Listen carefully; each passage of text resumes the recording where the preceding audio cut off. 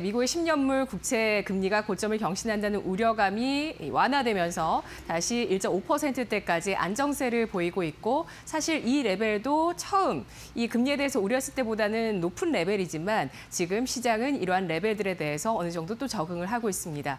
아, 유럽에서는 국채 매입에 대해서 속도를 높이겠다라는 또 부양책 일부에 또 호재가 나왔는데요. 아, 우리 시장 3,000포인트와 900포인트의 저항을 느꼈지만 어제 이 저항을 뚫었습니다. 그리고 오늘 간밤에 미국의 S&P 500 지수 다우가 사상 최고가를 경신했습니다. 어떻게 시장을 봐야 할지 유진투자증권 서울 WM센터 연결하겠습니다. 김영재 영업이사입니다. 이사님 안녕하십니까? 네, 안녕하십니까? 네, 간밤 동향 어떻게 판단할까요? 네, 어, 목요일 글로벌 증시는 일제히 상승했는데 어, 상승에 가장 크게 작용한 것은 유럽 중앙은행의 금리 상승 억제 조치로 향후 금리와 관련한 정책이 좀 확장될 수도 있겠구나 하는 기대감과 미국 부양책에 따른 경기 회복 기대감이었다 할 수 있습니다. 특징적으로 기술주 반등이 나왔다는 점도 국내 시장에는 긍정적으로 작용할 수 있을 것입니다.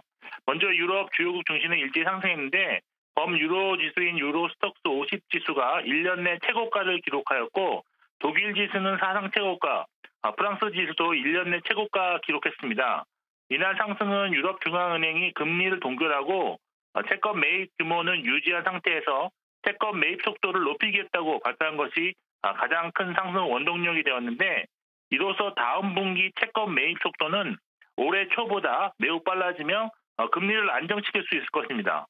어, 이러한 유럽 중앙은행의 결정은 다가오는 미국 FOMC에서 또는 그 이후에 정책 변화 기대감으로 이어질 수 있어 단기적으로 시장에 긍정적인 영향을 줄 것으로 보입니다. 미국 증시는 양호한 실업 지표와 부양책 기대감 그리고 10년물 국채 금리 안정에 따라 상승했는데 기술주 위주 나스닥의 큰 폭 상승이 특징이라 할 수 있겠습니다.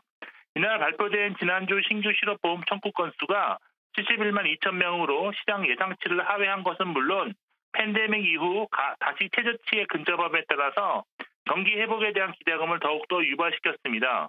미국채 금리도 소폭 상승하기는 했지만 장 초반에는 1.5%를 하회하는 등 안정적인 모습을 보여준 것도 어, 시장 상승에 도움을 주었습니다.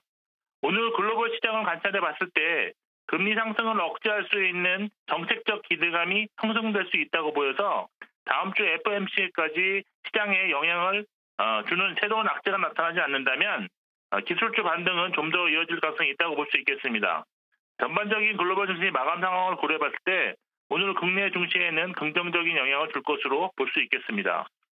네, 다음 주 초반에 예정돼 있는 3월 FOMC와 연관시켜서 어제 이사님께서 어, 그 이후 FOMC 이벤트 이후에 달러화와 원달러 환율의 환율 동향도 외국인 수급과 연결해서 주목하자 이런 말씀을 해주셨는데요. 어제 우리나라 선물옵션 동시 만기일에 원달러 환율, 환율이 6거래일 만에 하락세를 보였습니다. 워낙 강세를 보이면서 지수가 6일 만에 반등을 하면서 외국인이 어제 10년 만에 최대 규모의 매수를 보였습니다. 그래서 2011년 그 당시 어, 7월 당시 그때 이제 사상 최대 매수를 보였던 외국인 동향 이후의 지수를 보니까 지수가 그 이후에 그리 좋았던 건 아닙니다. 자, 지금 뭐 지수 자체도 일단 상승에 따른 저항감은 또 작용하고 있는 시장인데 어떻게 전략 세우는 게 좋을까요? 네, 일단 먼저 오늘 국내 증시 흐름을 전망해 본다면 어, 글로벌 증시 상승 영향으로 상승 출발한 이후 외국인 매매 방향성과 연동해 어, 지수 흐름이 전개될 가능성이 있다고 보고 있는데 어, 그렇지만 금요일이라는 특수성과 오늘 환불되는 공모주 자금이 변수가 될 수 있을 것으로 보고 있습니다. 어제 국내 시장은 최근 흐름과 많이 다른 점을 보였는데요. 일단 선물 옵션 동시 만기 일임에도 불구하고 우상향 패턴이 유지되었다는 점, 아, 그리고 그 배경이 외국인의 꾸준한 매수세였다는 점입니다.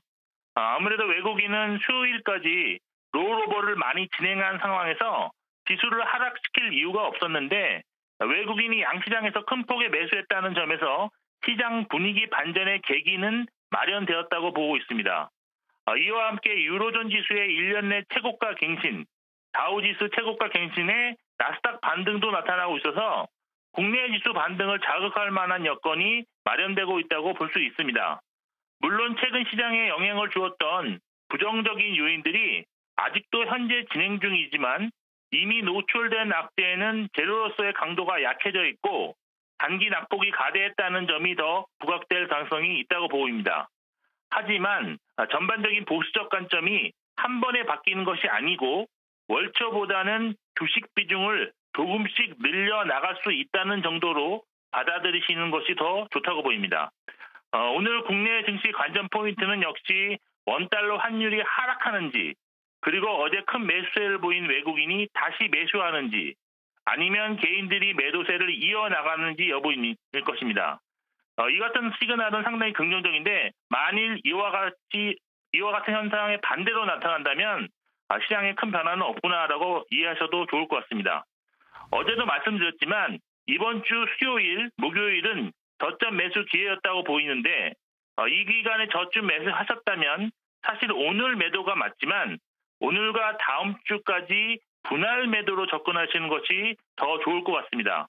일단 당분간은 시장이 변화하는지 관찰하시면서 보유 관점으로 대응하시는 것이 좋고 매매는 단기적으로 경기 민감주보다는 최근 하락한 종목 위주로 매매하시는 것이 어, 수익률 확보에 유리할 것으로 판단하고 있습니다.